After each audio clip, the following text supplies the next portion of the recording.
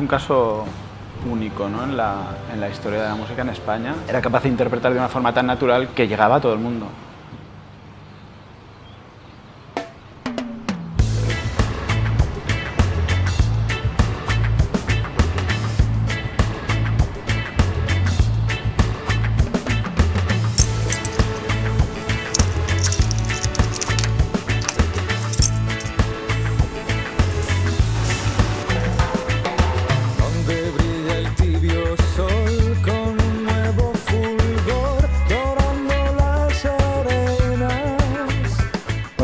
Recuerdos de cuando era muy pequeño, haber escuchado Nino Bravo y no por lo típico de porque se escuchaba en casa, sino desde muy pequeño yo, yo compré discos de Nino Bravo.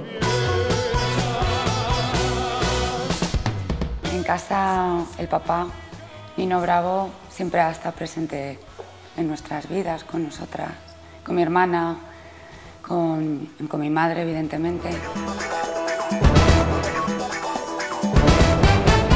Personalmente eh, en un principio parecía un personaje muy frío, distante con la gente, pero eh, en los términos valencianos lo llamamos una persona campechana, ¿no?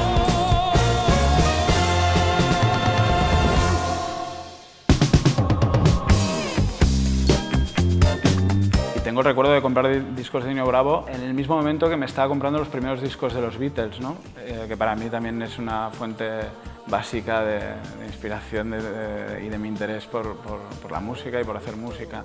Yo en mi casa lo tengo, en mi comedor, eh, le escucho todos los días. Necesito escucharlo porque es una manera de estar muy cerca de él, ¿no?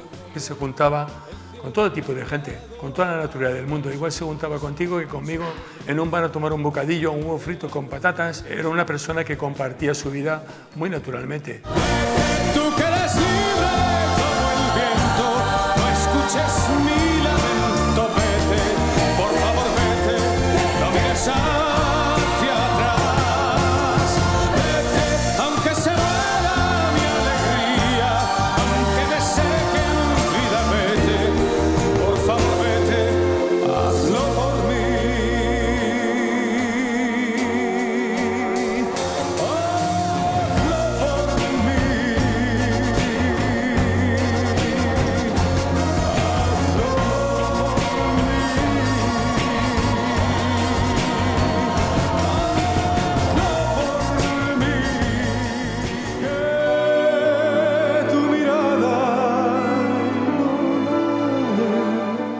Encuentro con una sorpresa después de 45 años, ¿no?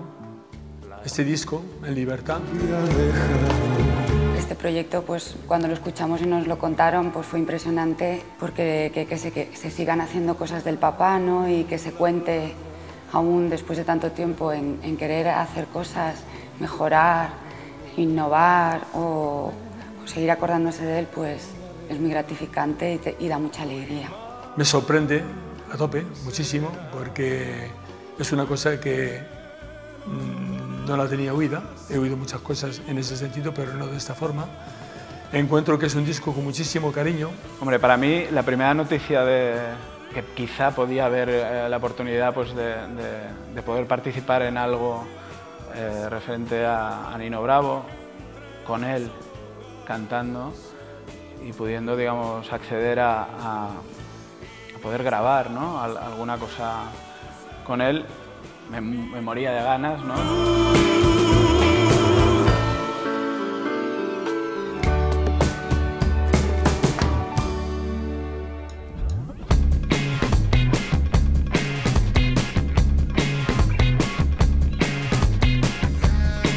había una complicación eh, adicional, ¿no? técnica, que era pues esta, ¿no? que en el, el hecho de, de que en la mayoría de canciones no pudiéramos contar con la pista de voz suelta de Nino Bravo y simplemente tener como material de base pues la canción tal cual está grabada y que pueda tener cualquiera en su casa. Eh, cómo conseguir hacer que eso fuera compatible con ese objetivo de conseguir una naturalidad en la voz de, de Nino pues en el resultado final, ¿no? porque eso implica pues, eh, técnicas complejas, eh, no muy habituales. Y eso ha sido bueno, pues una batalla dura del día a día y que en ningún caso yo quería que, cegara eh, toda la parte artística, ¿no? que es la importante del disco. Entonces, bueno, eso es un trabajo que se ha ido haciendo de forma paralela al otro, que era una grabación, pues como un disco nuevo.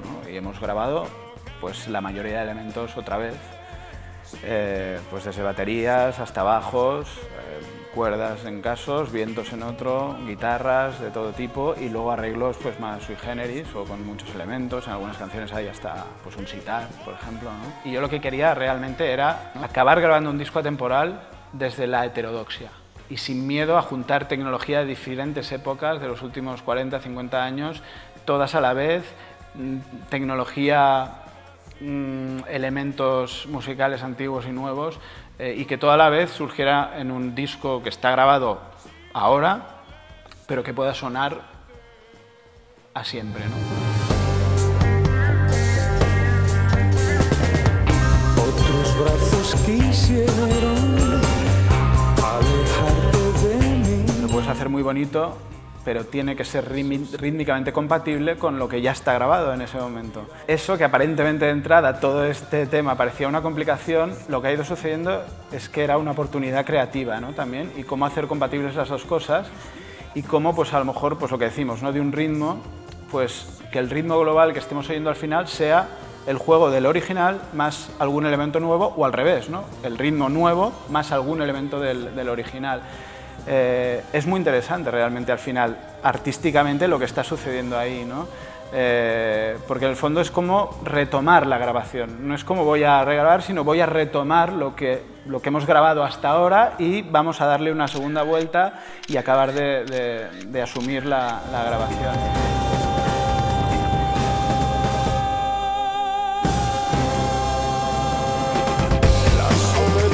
Casa Pues siempre me viene al recuerdo, sobre todo, los tiempos pasados, ¿no? Los tiempos pasados de los cuales tuve oportunidad de disfrutar con él. Y claro, eh, después de lo que ha comentado Guille referente a la grabación, eh, me quedo sorprendido, me quedo sorprendido del adelanto de todas las técnicas, de las cuales se, se siguen sacando mucho fruto de, de la voz del artista, en este caso la de Nino Bravo. Eh, creo que no ha sido un trabajo muy fácil, muy fácil desde luego, pero a mí me suena muy bien.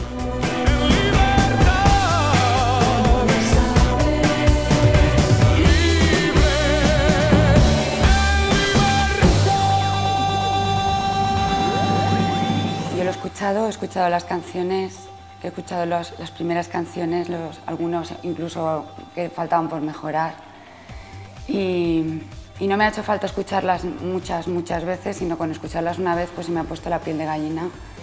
Ha sido impresionante porque el primer pensamiento que, que cuando lo he escuchado ha sido es como si estuviera cantando ahora mismo, ¿no? Como si ah, hubiera venido y se hubiera puesto a cantar, porque su voz no ha pasado de moda, es, es atemporal, es, es, es, alucinante, ¿no?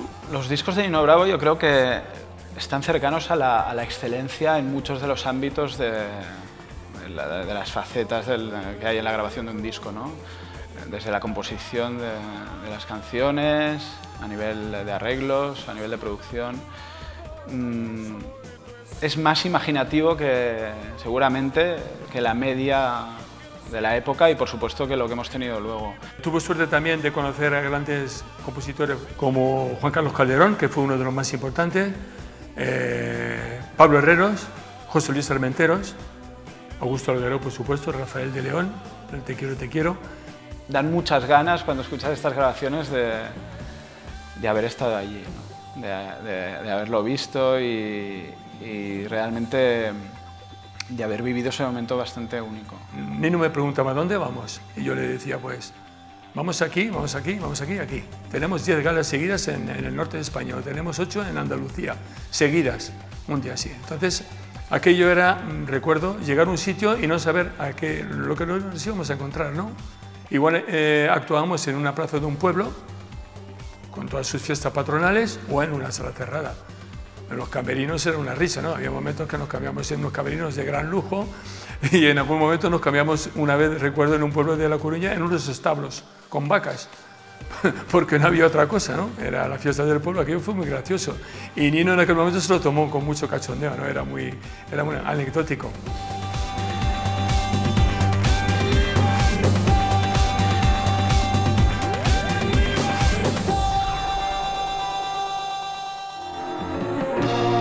Hay desde elementos que te llevan pues, al trip hop, por ejemplo, de finales de los 90.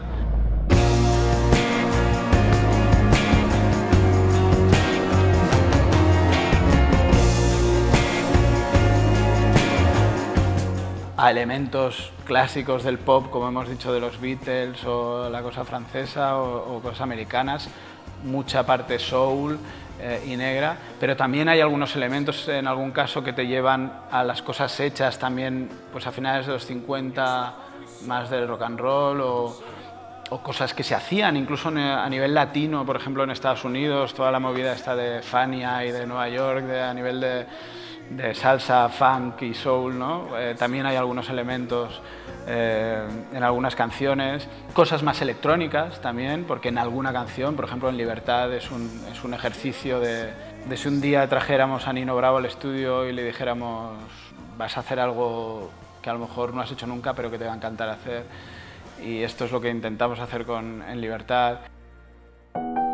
Un libro quedará abierto una carta sí. Pues bueno, cuando la cosa ya, ya empezaba a, realmente tomar mucho, mucho color y, cada día era una nueva aventura, ¿no? Y, yo realmente estaba excitado, ¿no? Casi no he dormido durante todos estos meses por las noches pensando en, en, en las cosas que estábamos haciendo. Cuando llegó Esa será mi casa, eh, para mí ahí había un gran reto. Esa será mi casa es una gran grabación es una canción con una épica implícita muy importante, pero a la vez quería hacerla grande ¿no? y, darle un poco de, rabia al asunto, sacarla un poco de, un cierto drama de la producción original, que a veces casi roza la teatralidad. Quería romper un poco con, el gran drama y llevarla a, a un mundo con, con, más groove, más rítmico, en el que también la tragedia estuviera presente. ¿no?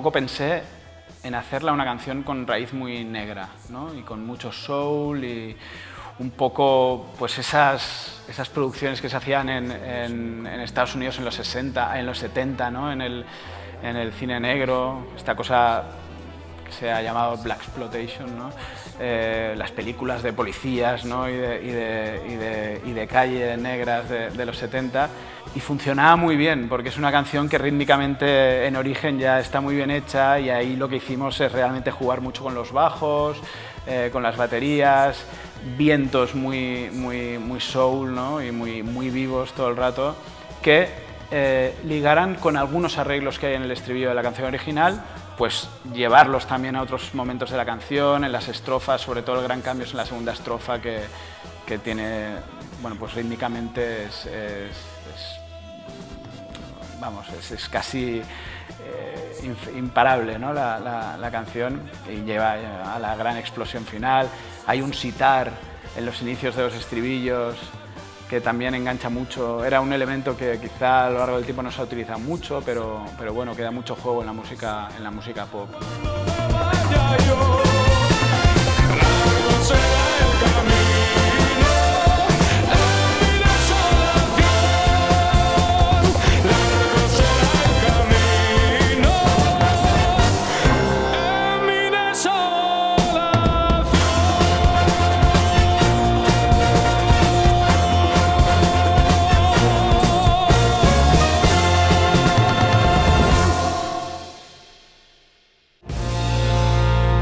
Te estoy queriendo.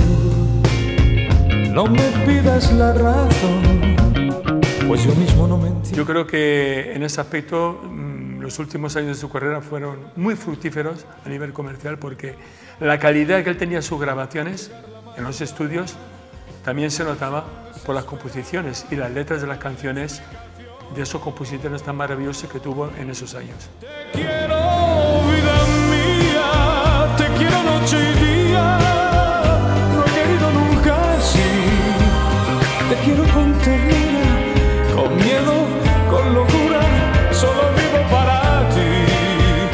Yo creo que fue un hombre siempre de pueblo con una humildad tremenda en ese aspecto y sobre todo, sobre todo, ¿eh? tengo que hacer hincapié, muy exigente en el trabajo. ¿vale? Ahí sí que no se casaba con nadie, ni conmigo, ni con los músicos, ni con él mismo. El tema de ensayos era una cosa súper exigente y en las actuaciones era una cosa bárbara. Era súper constructivo. Se enfadaba de vez en cuando, pero siempre a nivel constructivo, para que la próxima vez pudiéramos rectificar. Pero como persona, lógicamente, eh, lo que lo hemos conocido es una persona muy cerca, de, sobre todo de su familia y de sus amigos, a tope, siempre. Para nosotras, pues Nino Bravo no se ha muerto, evidentemente. Se murió el papá hace muchos años, hace 40. Pero Nino Bravo está vivo y, cada vez está más vivo y, es una alegría y es un orgullo ¿no? interno. Y, nosotras, nuestro pequeño grano de arena que podemos poner, es pues estar junto a él, cuando se acuerdan de él estar presentes y, que nadie y que, y que, no nos olvidemos de él. Y yo creo y estoy convencido que al menos es lo que querría pensar, pero yo he hablado mucho con él cuando está en el estudio y creo que él eh, estaba muy cómodo en esto. Y realmente yo hacía ese ejercicio cada vez y cada vez pensaba si él estaría cómodo. Y es fácil hacerlo, porque lo sitúas y si no funciona, no funcionaba y volvíamos a plantearlo de otra manera. Yo creo que, él, que él le hubiera gustado grabar este disco.